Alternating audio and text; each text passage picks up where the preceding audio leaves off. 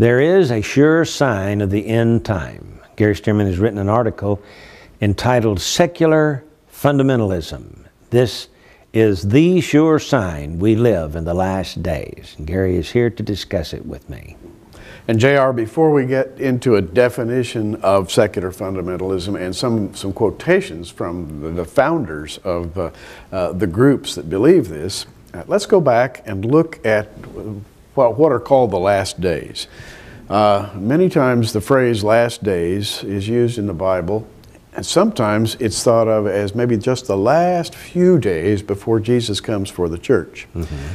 But I'm going to read here uh, what Paul wrote to Titus in Titus 2 12 and 13, teaching us that denying ungodliness and worldly lusts, we should live soberly, righteously, and godly in this present world, looking for that blessed hope and the glorious appearing of the great God and our Savior, Jesus Christ. Now, JR, this letter to Titus was written about seven years before the temple was destroyed. In other words, the temple was still in full operation at that time. Mm-hmm. And still, he includes an exhortation to watch for the coming of Jesus for the body of Christ, the, what we call the rapture of the church today. Centuries ago, uh, Paul uh, defined the theological posture of the redeemed. We are supposed to be looking up, and of course, that's been the theme of this ministry for years keep looking up. Uh, but the Lord knew that between the time that Paul wrote this and between the time that Jesus came, lots of things would happen. There would come, come the destruction of the temple, there would come heresies, there would come the Dark Ages, uh, there would come uh, many, many wars, uh, devastations. Uh, nevertheless, we are to keep looking up, looking for that blessed hope. Now, people are looking for signs things that will be apparent in these last days. And I maintain that there are some, and I know you do too. But in, a, in one sense, there are no signs given for the church. That is, the rapture is a signless event. So, therefore, what should we be looking for? Well, we should be looking for Israel, who's looking for signs. Yeah, that's right.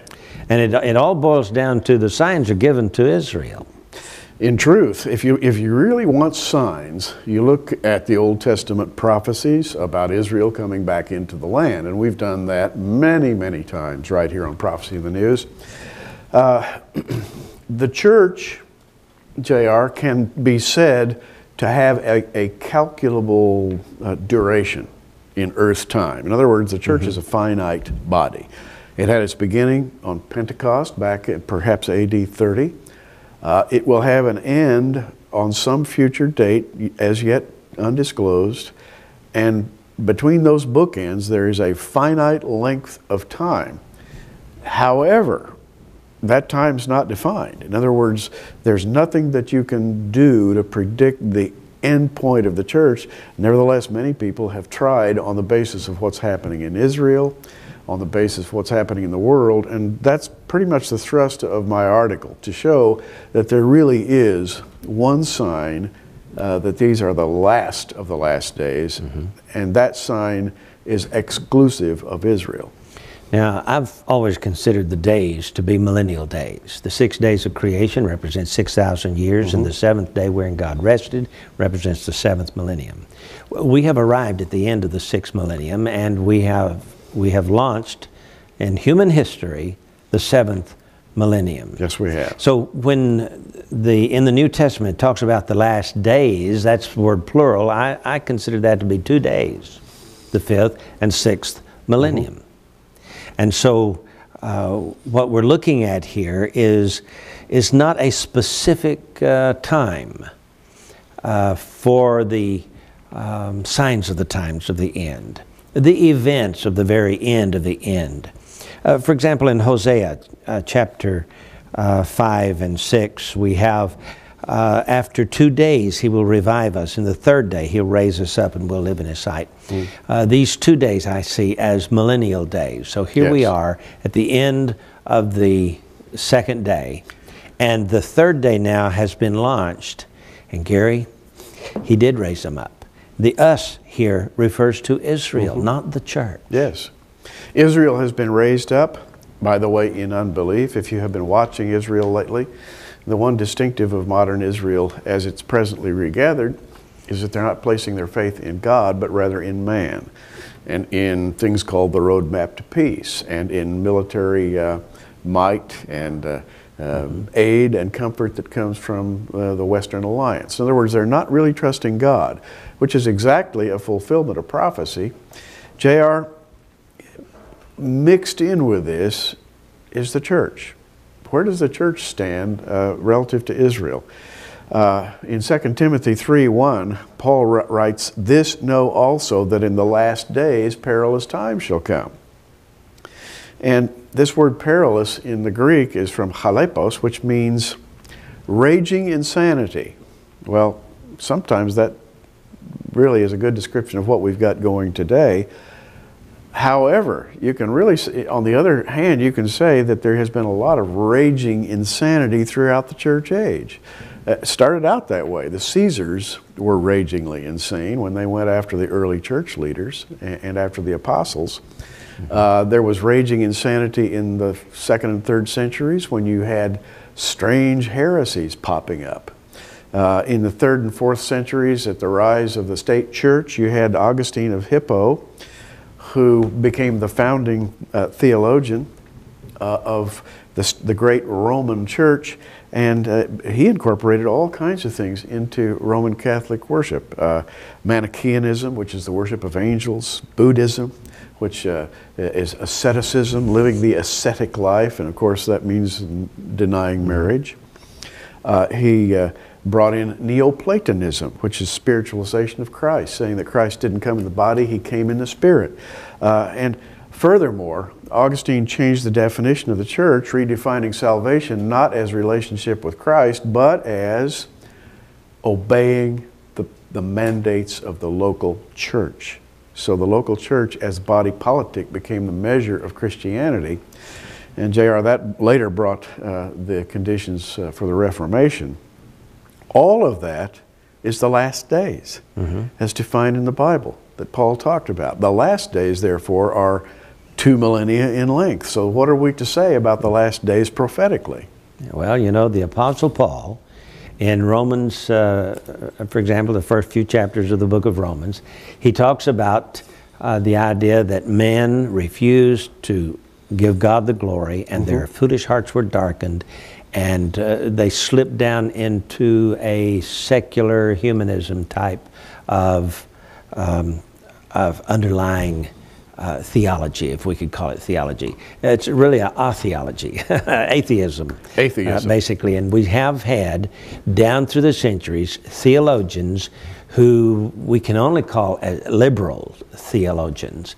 And their underlying uh, basis for their thinking is there is no God and we're all there is, and there is no life hereafter. Like the Sadducees, for example. The Sadducees didn't believe in the resurrection, mm-hmm. they didn't believe in angels, they basically didn't believe in God. And, and yet they inserted themselves into temple life and worship. Yes. And they, they were able to do so because their great political power in the first century. Really, the Sadducees believed in two things they believed in uh, a kind of uh, respect for philosophy, mm-hmm. Greco Roman philosophy, and they worshiped money, that is to say, the flow of wealth. And they, they found their goodness in the belief that, that uh, the highest aspect of life was to be found by channeling money from the rich to the poor, the transfer, transformation of wealth or the transfer of wealth from the upper class to the lower class. Well, JR, that sounds mighty modern yes. in a way. Well, that's modernism. It is. To a T. I mean, the secular, hum, the, uh, the, the liberal theologians, what we call modernism. And you know, it really began in earnest oh, in the, around the 1730s, something like that, early 1700s uh, coming out of Germany when they began to question everything the Bible said. Yes. Uh, this modern theology uh, denies the miracles, denies creation. Uh, and of course, then with Charles Darwin, everything went downhill from there. We have always had a liberal theology um, cropping up from time to time in the church. But in 1933, Gary, hmm. we had something happen that was a, a whole new ball game. This Actually- is the sign of the end time, don't you think? And I think, and that's my contention in this article called Secular Fundamentalism, that there is one key sign that tells us that we are there and that we hmm. should begin seriously to look for the soon return of Christ. Remember the year 1933. Yes. Now, Gary has written this article for our September edition of Prophecy in the News magazine, and it deals with something that happened in 1933, something that put a whole new face on the end time. Now, I realize that the return of the Jews to the promised land is the super sign. But I believe this sign is most important. It was predicted in the Bible, and when the Apostle Paul wrote to Timothy, he talked about this. Listen to it the oppositions of science, falsely so called. Here it is, Gary. Tell us about Well, we live now in an age uh, when science, quote unquote, dictates what we should believe. And that's the great battle today, JR. But in 1933, uh, the Humanist Manifesto, Part 1, or Number 1, was, was published. And listen to these words the preamble to that manifesto. The time has come for widespread recognition of the radical changes in religious beliefs throughout the modern world. This is in 1933. The time has passed for mere revision of traditional attitudes. Science and economic change have disrupted o- the old beliefs. And there is the in the opening words we find two structures. We have science on the one hand and economic change on the other. The two great forks, you know, in the 20th century way of thinking. Science, on the one hand, said that man created himself out of the ooze of the ancient swamps. Yes. Uh, that's science. Economic change, how did that manifest itself? In social Darwinism under the heading of Marxism, Nazism, and a lot of other isms. And so here in 1933 is a declaration that Christianity is outmoded. It's time for, the, for a new system a new system. a new system. and JR, here's the way it's worded. In an introduction uh, to, to this uh, uh, Humanist Manifesto, Paul Kurtz writes this, and by the way, Paul Kurtz is an atheist. In 1933, a group of 34 liberal humanists in the United States defined and enunciated the philosophical and religious principles that seemed to them fundamental. They drafted the Humanist Manifesto 1, which for its time was a radical document. Well, I could go on, but notice that word fundamental. They were secular, and they outlined a group of fundamentals of their faith. Therefore, I would term them secular fundamentalists, and I think that's a very apt title. Good. All the way from liberal theology to secular fundamentalism. Right. What a switch. What a switch. Isn't it amazing that, first of all, men do not like to give God the credit? That's Romans chapter 1. Yes. And then they, they fall from that into a liberal theology, as generally speaking. And then they, uh, according to the according to the slide, they go all the way from theology to atheology or atheism, and all the way from respecting marriage contracts and so on to homosexuality and to uh, the the basis of of um, human degradation. And then they put on these white smocks and walk in the halls of our universities and call themselves scientists and uh, tell us that we came out of an ooze, there was no God. And, uh, and Darwinism then became the religion of the, uh, of the last hundred years or so. Right. And uh, out of that then has come this basic idea is we're all there is. This is our little boat sa- sailing on a sea of nothingness and uh, we must survive. Yes. It's amazing. Oh, it is amazing, and as you read uh, various uh, little uh, squibs from the uh, Humanist Manifesto 1, uh, you can see that they're trying to establish a religion. This is not Laodiceanism, that is, it's not heresy within the Christian church, it's right. a brand new external institution. And the, these are their own words. To establish such a religion is a major necessity at present, 1933. It is a responsibility which rests upon this generation. We therefore affirm the following.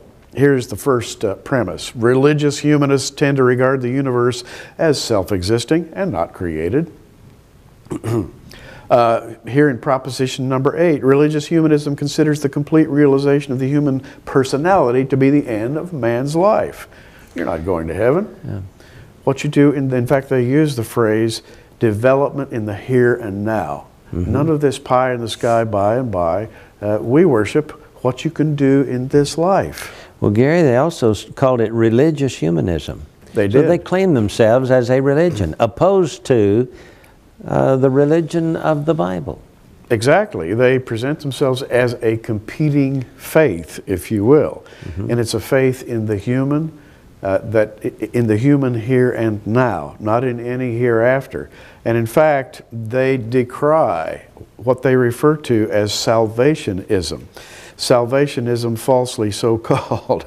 And, and JR, when you look at salvation, it's the core and fundamental, if you want to use that term, belief mm-hmm. of Christianity. Mm-hmm. You know, I was watching a science program the other day on television, and they talked about um, anything could destroy this planet.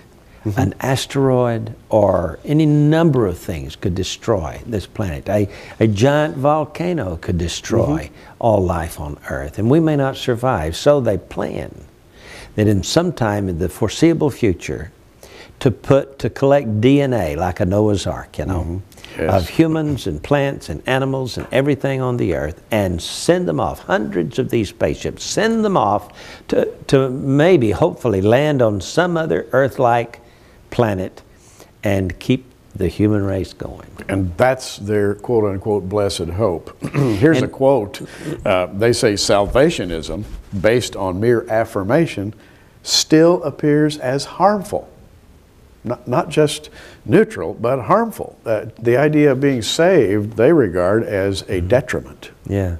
Isn't that amazing? That's amazing. let, me, let, me just mention okay. one thing to you. when this guy was talking about sending spaceships to other galaxies and seeding other planets, he said, after all, that's probably the way we got here.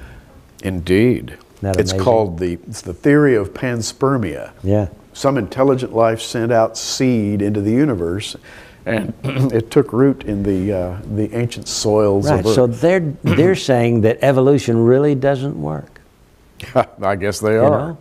Basically, that's what they're saying. We did not evolve on this planet. We were seeded here by some intelligence somewhere. Paul's passionate words to Timothy just ring like a bell. Oh, Timothy, keep that which is committed to thy trust avoiding profane and vain babblings and oppositions of science, falsely so called, which some professing have erred concerning the faith. Grace be with thee. Amen. That's uh, 1 mm-hmm. Timothy uh, 6 20 and 21. Uh, science, falsely so called. Isn't that yes. amazing? What's amazing to me is scientists say there is no God, and suddenly they want us to worship the devil uh, as aliens from some other planet or galaxy somewhere.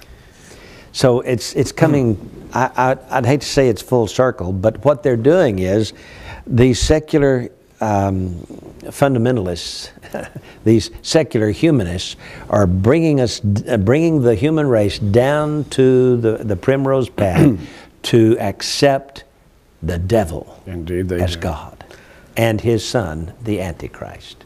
Absolutely. Excuse me. Let me just uh, do a, a couple or three quotes here from the Humanist Manifesto 2, which came in 1973. That's 40 years after the first one. uh, we find, and I'm quoting, insufficient evidence for belief in the existence of supernatural.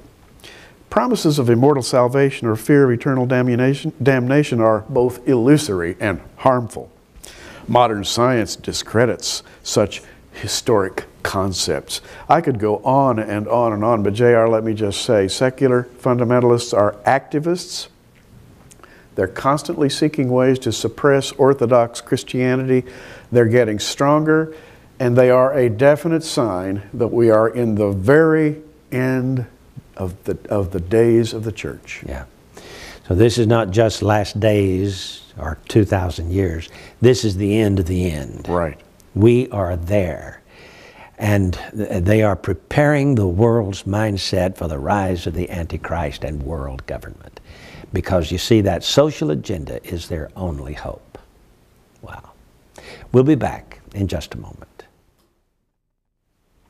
This is the article, Secular Humanism, a Sure Sign of the End Time. It's in our September edition of Prophecy in the News magazine.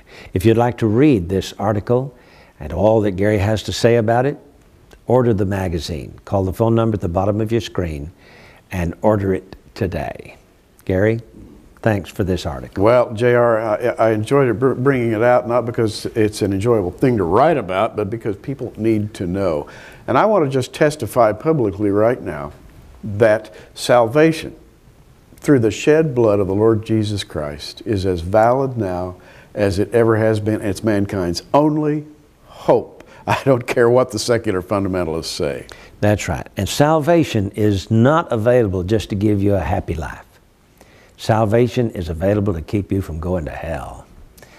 This is J.R. Church and Gary Stearman. Until next time, keep looking up.